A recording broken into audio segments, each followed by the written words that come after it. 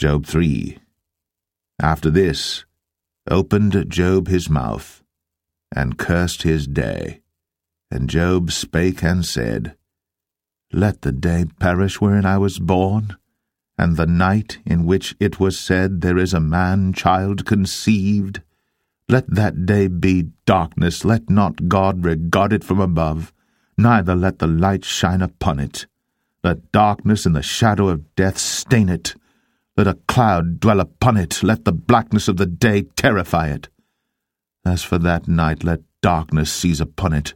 Let it not be joined unto the days of the year, let it not come into the number of the months. Lo, let that night be solitary, let no joyful voice come therein. Let them curse it that curse the day, who are ready to raise up their mourning. Let the stars of the twilight thereof be dark. Let it look for light, but have none. Neither let it see the dawning of the day. Because it shut not up the doors of my mother's womb, nor hid sorrow from mine eyes. Why died I not from the womb? Why did I not give up the ghost when I came out of the belly? Why did the knees prevent me?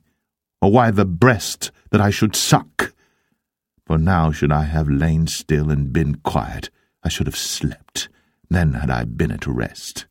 With kings and counsellors of the earth, which built desolate places for themselves, or with princes that had gold, who filled their houses with silver, or as an hidden, untimely birth I had not been, as infants which never saw light. There the wicked cease from troubling, and there the weary be at rest. There the prisoners rest together, they hear not the voice of the oppressor. The small and great are there, and the servant is free from his master.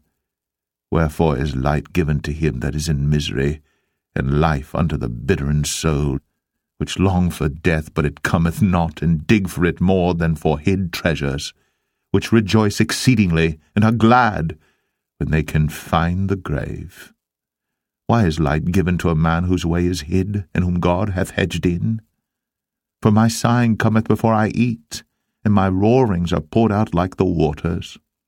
For the thing which I greatly feared is come upon me, and that which I was afraid of is come unto me. I was not in safety, neither had I rest, neither was I quiet yet trouble came.